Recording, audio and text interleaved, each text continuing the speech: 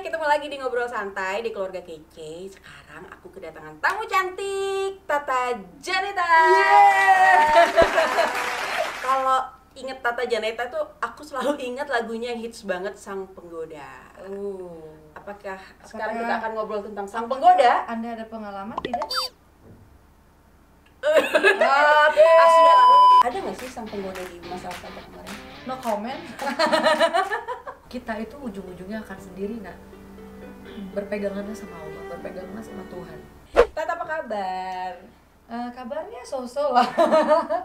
Karena akhir-akhir ini. Tata lagi sering banget ya Beritanya ada di mana-mana Baik-baik aja kan? Baik.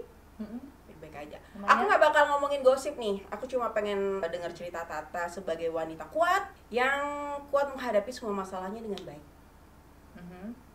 Gimana? Kelihatannya gitu ya. Harus begitu. Oh, harus sebagai begitu. wanita aku harus kasih support harus begitu. Gimana menghadapi kemarin? menghadapinya sebetulnya kerapuhan kesedihan itu pasti ada ya.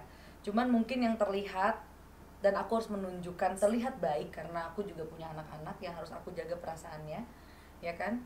Jadi bagaimana caranya ya aku berusaha untuk menerima kenyataan sih. Intinya itu aja. Harus bahwa ini terjadi sama aku dan aku harus menerima itu dan ya udah harus melangkah lagi maju. Hidup terus berjalan harus ya? berjalan iya mau gimana lagi gitu Dan sebenarnya kan yang punya masalah kayak Tata ini banyak ya. Banyak banget lah. Hmm. Eh, Aku sering dengar curhatan.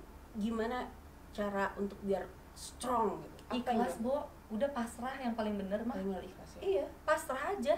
Soalnya gini loh, apa yang terjadi dalam hidup kita kan nggak ada yang tanpa ketoknya dari sang maha kuasa gitu loh. Ya kan dari si bosnya gitu, dari maha bos. Pasti itu sudah atas izin. Jadi sudah tertulis juga. Jadi mau gimana?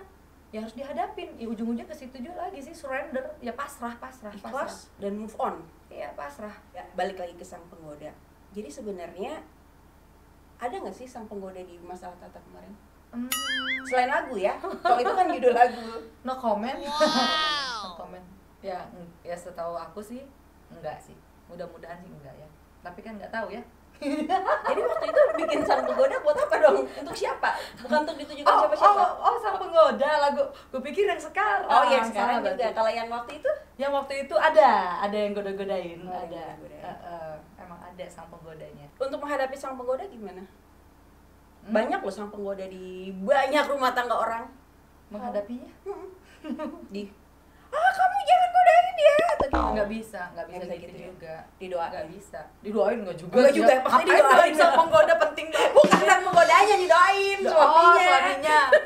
Em, cara menghadapinya ya berdoa bener berdoa berdoa aja mudah-mudahan segera disadarkan ya kan terus ya memperbaiki diri lah karena eh, sebenarnya kenapa misalnya si laki-laki bisa tergoda ya pastinya kan ada sesuatu juga yang mungkin kurang dari kita kan gitu loh. Jadi gue sih selalu berusaha untuk memperbaiki diri dan berdoa pasrah. Gue tuh beneran deh nggak pernah terlalu gimana ya gitu loh. Hidupnya bener-bener kayak orang ya udah ready flow banget gitu lempeng banget gitu salah satu cara supaya nggak terlalu galau sih gitu loh. Itu sih mungkin bener juga sih maksudnya ya emang harus gitu ya. Ngapain Iya. juga dipikir-pikirin terus ngapain juga dimarah-marahin. Kepikiran pasti. Kepikiran pasti. Tapi tapi maksudnya mau marah mau apa juga kan nggak bisa mer- ya bisa merubah tuh adalah doa yang bisa merubah gitu. Yang penting kan sekarang prosesnya udah selesai. Udah. Apa rencana ke depan sama anak-anak? Rencana ke depan ya berjalanlah sama anak-anak. Pokoknya eh, mendidik anak-anak ngebesarin anak-anak terus ya berkarya pastinya ya kan tetap nyanyi terus apa lagi ya ya cari jodoh lah mudah-mudahan Tuhan masih mengizinkan gitu kan masih eh, apa masih ada someone di luar sana yang benar-benar tulus Amin. sayang sama aku sayang anak-anak karena Allah gitu loh tapi Iya. sepanjang proses ini pernah ada nggak satu masa yang bener-bener ngerasa useless banget ada pasti. terus apa yang dilakuin biasanya Kalau gue sih jujur ya, nanti dibilang so suci lagi nih. Enggak lah Dulu tuh sempat yang eh, jauh ya dari Tuhan ya, jauh dari Allah ya. Sholat juga belang betong kalau orang Hmm. Sunda bilang. Tapi ketika masalah itu terjadi, itu membuat gue akhirnya bilang gini, oh mungkin Tuhan tuh bikin masalah ini, mendatangkan masalah ini supaya gue kembali sama Tuhan ya. Dan dari saat itu, ketika gue merasa useless, ketika gue merasa down, terpuruk, akhirnya gue kembali sama Tuhan sih dan hidup lebih dan tenang alhamdulillah alhamdulillah gue merasa bahwa ya udahlah gitu hidup juga nggak selamanya ya gitu. Ya pokoknya intinya gini loh karena kan ini pernikahan yang menurut gue gitu. Gue udah memutuskan untuk hidup dengan seseorang dan gue nggak pernah berpikir kalau itu akan end like this gitu loh. Dia akan packing barang lagi dan pergi gitu. Dan dengan alasan yang gue nggak usah buka gitu ya gue yang ya useless dong jadinya kayak salah gue apa ya? Gitu oke gue punya salah mungkin gitu loh. Tapi emang pernikahan bisa segampang ini ya gitu loh dia dia dia packing and then go gitu from my life gitu. And then uh, ketika itu terjadi gue nggak bisa ngapa-ngapain dan gue nggak nangis saat itu. Ketika dia pergi gue cuman bilang ya Allah ya udah ya mungkin emang harus kayak gini kali ya. Dan akhirnya dari situ gue mulai wudhu lagi gue mulai sholat lagi lima waktu alhamdulillah nggak lepas. Walaupun secara fisiknya lo lihat gue belum yang hijrah gitu ya tapi dalam hati udah mulai kayak ya menyerahkan semua urusan gue sama Tuhan gitu. Dan ternyata tuh jauh dan itu jauh lebih baik bikin tenang bikin tenang. Walaupun belum sempurna ya mbak. Ya, jauh ya. banget dari sempurna memang. Ya kan masih nyoba ya. Masih masih masih proses lah untuk jadi lebih baik lah. Selain mendekatkan diri ke Allah keluarga gimana? Keluarga juga. Yang paling support? Yang paling support ya semuanya sih mostly ya. Iya. anak-anak. Ketika terjadi itu ini kan bukannya ketika uh, gosip beredar itu sebenarnya udah kejadian udah lama ya kan? Jadi sudah dua bulan lebih itu udah nggak ada di rumah ya kan? Jadi ketika yang kalian lihat gosipnya beredar tuh gue udah dalam tahap penyembuhan sebenarnya. Jadi udah kelihatan jauh lebih kelihatan lebih udah baik kelihatan, gitu ya? udah lebih baik. nangis nangisnya udah lewat? Nangisnya ada tetap ada. Tapi nggak separah waktu awal nggak separah awal awal karena ini kan udah kedua kali dia kabur kan eh maksudnya pergi ya. Kabur. Udah kedua kalinya dia pergi kan. Jadi ya udah ada pengalaman sebelumnya mungkin. Jadi ya udah kayak ya sudahlah emang mungkin seperti itu ya dia orangnya gitu ada yang disesali nggak dengan semua kejadian? nggak ada. Nggak ada. Nggak ada. Karena semua kejadian tuh pasti ada hikmahnya ya? Iya ada pelajaran. Pelajarannya pelajarannya buat gue pelajarannya buat dia gitu. Mungkin mengajarkan juga gue untuk lebih sabar jadi perempuan mengajarkan gue lebih apa ya lebih manis gitu kan ya kan? Mengajarkan gue juga lebih dekat sama Tuhan mengajarkan gue juga tidak terlalu mencintai manusia gitu. banyak pelajarannya tidak terlalu mencintai manusia. Memang yang terlalu terlalu itu kurang baik ya. Iya nggak boleh cemburu Allah tuh. Ada nggak yang mau disampaikan ke orang tua keluarga atau anak-anak? Dengan semua kejadian ini kan mereka banyak sedikit banyak pasti kena imbasnya ya. Entah dengerin gosip-gosip entah dari dengerin tata curhat mulu dengan segala masalahnya kan pasti mereka juga ada rasa sakit ada rasa sedih. Ada ada sih kadang-kadang kayak kita apa kan, ada yang mau disampaikan nggak? Entah. Kita sih sekarang kan bertiga di rumah ya sama hmm. sama ada satu mbak yang sudah aku anggap anak sendiri ya. Jadi kadang-kadang kalau malam mau tidur tuh sometimes Atar Janeta tuh nanya gitu mom family is broken now kata dia. Aduh, ya itu yang itu hurting me ya, terus kadang-kadang kan foto-fotonya Mehdi kan masih terpampang jelas hmm. di rumah. Karena buat gue kenapa sih gitu apa yang mesti dicabut gitu loh? Dan nggak akan dicabut? One day kalau saatnya saatnya harus dicabut ya akan gue cabut. Tapi, tapi hari ini ya? no. Aku berusaha untuk jujur sama diriku sendiri sih. Buat apa gitu loh? Mengobati kegalauan atau kehancuran itu kan nggak perlu dengan berusaha untuk wah ngancurin semuanya dibuang. No. Karena yang karena barang-barang itu cuma nggak bisa kelihatan mata tapi kan yang bener di sini. Kalau di sini masih ada buat apa gitu loh. Ya kan? Jadi sometimes itu yang bikin aku sedih ketika anak-anak bilang mom family is broken now. Kita kita nggak punya daddy lagi sekarang. Itu, yang itu ya? Langsung ya nangis lah gue tapi gue bilang kayak gini it's okay nah nggak ada yang nggak ada yang abadi di dunia ini gue berusaha untuk menjadi ibu yang kuat di mata mereka yang gue nggak nggak yang nangis di depan mereka ya. Gitu padahal hati gue hancur banget kan dengerin anak ngomong kayak gitu. Gue bilang gak ada yang abadi dengerin ya. One day mami juga akan pergi. Nanti kalau mami pergi duluan atar sama kakak harus kuat. Karena kita semua tuh milik Allah milik Tuhan. Oh gitu ya mam? Iya. Nanti kalau mami pergi duluan atar juga sama kakak harus terima. Karena nanti mami diambil sama yang punya Atar tuh dipinjemin sama mami dititipin. Gue bilang dadi juga dititipin sama mami. Nah sekarang mau diambil lagi mami nggak boleh nangis Atar nggak boleh nangis kakak nggak boleh nangis. Oh gitu. Soalnya dia sekarang paham bahwa oke okay, gitu loh. Dan nggak pernah nanya-nanya Dedi mana? Enggak nanya sih sampai belum pulang. Tapi gitu namanya oh, mereka taunya Dedi pergi kerja? pergi Dedi pergi. Tapi pernah juga satu hari mereka bilang mami sama Dedi nggak bisa lagi sama-sama karena mami Dedi nggak cocok itu tahu dari mana coba anak-anak ngomong kayak gitu. Tapi ya ya maksudnya nggak yang nggak yang terluka banget lah mereka. Karena aku selalu kasih penjelasan bahwa is okay gitu loh. Aku yang memadamkan kegalauan mereka gitu. Padahal diri gue juga hancur banget boy kan? Tapi ya sudahlah itulah itulah susahnya jadi ibu ya. Apa Harus kuat ya? harus kuat di di, di depan anak-anak. gitu kebetulan aku tuh sahabatnya kakaknya Tata jadi tahu banget kakaknya Tata tuh sangat memikirkan Tata gitu. Mhm, iya banget. Dia mah dia ngurusin nggak sih kakaknya? Coba kakaknya sini deh. Dia mah Serius. udah lama Serius lah, sini lah. ngurusin gue lagi sekarang. Ngurusin siapa dia bebeknya ya? Kan tuh kan dia mewek kan. Kalau tuh kan belum ditanya aja udah mewe dia. Gimana sih? belum ditanya udah mewe kenapa mewe mewe sih? Hah, kenapa mewe mewe karena dia dia yang paling tahu gue kan. Iya. Gue tuh orangnya keras Minda. Jadi gini kalau gue nggak disentil gue nggak akan nyentil gitu gue orangnya. Kadang-kadang bahkan gue disentil juga gue masih sabar gitu. Tapi kalau gue udah disentil keterlaluan gue akan melawan. Itu gue. Dan dia tahu dalam-dalamnya hati gue sebenarnya. Gue tuh orangnya tulus banget kalau udah sayang sama orang. Makanya dia sedih ketika ya akhirnya gue harus kehilangan orang yang gue cintai. Sebenarnya itu kenapa udah nangis sih?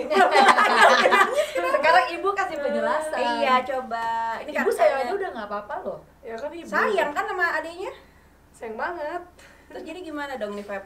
Ini Febi kakaknya Tata. Dia dia dia sayang banget sama adiknya. jadi Gimana apa sih? coba pesannya buat Tata? Ya mungkin pesannya sih Tata harus lebih introspeksi diri lagi. Terus jangan terburu-buru.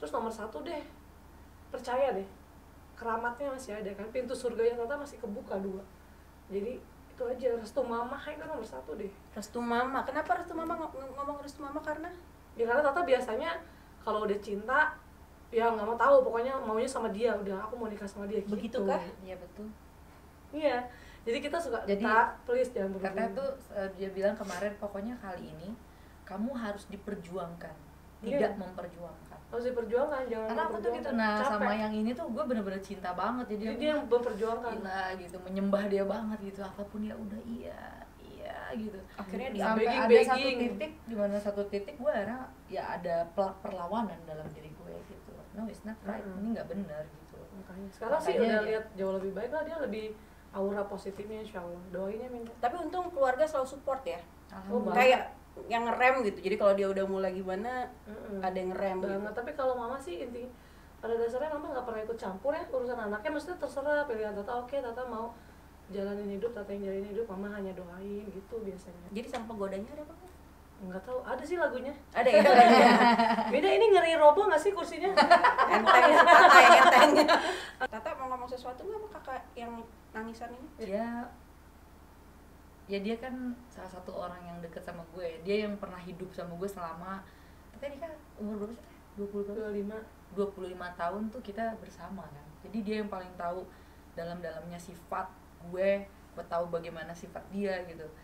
Jadi ya ketika gue harus sendirian menjalani hidup gitu tiba-tiba dia dengan keluarganya gue dengan diri gue sometimes gue kayak kehilangan apa ya kayak kehilangan kembaran gue gitu shadow. Jadi ya mudah-mudahan sih ya ini nggak akan pernah terjadi lagi dalam hidup gue karena gue nggak mau nggak mau membuat orang-orang yang gue sayang sedih. Gue nggak mau mengecewakan orang-orang yang gue sayang gitu loh. Mudah-mudahan apa yang pernah dikatakan kepada gue bahwa ya ada intimidasi yang bahwa mengatakan gue gue hanya sekian gue udah tua lah gue segala macam itu semua mudah-mudahan berbalik doanya menjadi baik ke kehidupan gue. Mudah-mudahan dengan doa dari keluarga dari teteh mama anak-anak gue bisa survive dan gue masih bisa berkarya gue masih bisa mencari rezeki buat keluarga. Itu Amin. aja sih sebenarnya gue minta minta apa energi positif dengan doa-doa mereka supaya hidup gue menjadi lebih baik. Gue menjadi orang yang lebih baik. Gue tahu gue bukan orang yang sempurna pasti gue punya salah gue pasti punya kurang.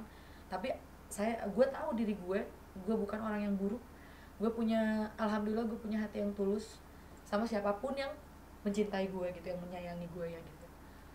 Ya mudah-mudahan Allah kasih kasih sesuatu lah sesuatu yang lebih baik lah di hidup lebih indah. Lebih indah gitu. Terakhir nih sebelum closing sama kakak udah kan kakak tuh mewakili keluarga lah sama anak-anak deh aduh. Apa yang mau diomongin? Ini yang bagian paling anak ini kan aku mau BW duluan belum mulai. Karena setelah ini akan menjalani hidup sama mereka berdua. Kalau anak-anak? Apa yang mau disampaikan gitu? Ya buat antar Janeta nah nah udah lah banjir lah banjir ya. Jadi hidup itu kan gak pernah mudah nak. Aku selalu bilang nak hidup itu nggak akan pernah mudah. Sekarang mami sendirian. Sama Atar bertiga. Kan dia bilang broken mami family broken. Itu oke kita itu ujung-ujungnya akan sendiri nak. Berpeganganlah sama Allah berpeganganlah sama Tuhan. Mami harap Atar sama Janeta nanti jadi anak yang soleh anak yang soleha. Jangan contoh yang nggak yang nggak baik dari mami. Mudah-mudahan kalian bisa jadi pintu surga buat mami. Hmm. mudah-mudahan mami bisa jadi orang tua yang baik buat Atar Janeta. Bisa membimbing Atar Janeta supaya jadi ahli surga supaya mami nanti bisa ikut sama Atar Janeta itu aja bisa dilimpahkan rezeki keberkahan buat kita bertiga udah itu aja Amin. bisa suatu saat nanti kalau Allah masih kasih kita kesempatan mungkin bahagia bersama satu makhluknya yang didatangkan untuk mami untuk Atar Janeta datangkanlah seseorang itu yang tulus sayang sama mami dan sayang Atar Janeta karena Allah Amin. Aduh aku juga paling gak kuat kalau ngomongin anak-anak. soalnya anak sih Oh, oh, anak tuh, anak keluarga tuh. Pokoknya stick together nak stick together kita bertiga stick together sama Allah Jadi buat siapa aja para wanita-wanita yang punya masalah apa pun itu, ternyata emang keluarga dan anak-anak itu adalah penguat nomor satu ya. Anak-anak sih terutama. Jadi jangan pernah patah semangat, jangan pernah merasa rendah diri atau apa pun. Yang penting hidup itu terus berlanjut, jadi harus tetap semangat. Sampai ketemu ya di vlog selanjutnya. Jangan lupa senyum hari ini. Tisu.